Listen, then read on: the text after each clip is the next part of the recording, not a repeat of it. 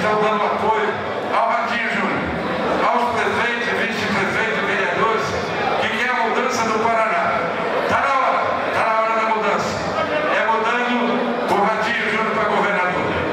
Não tem compromisso político de 20, 30, 40 anos como está o Estado do Paraná. Vai ser uma mudança geral no Estado, para atender a nossa população, nossos prefeitos, nossos amigos.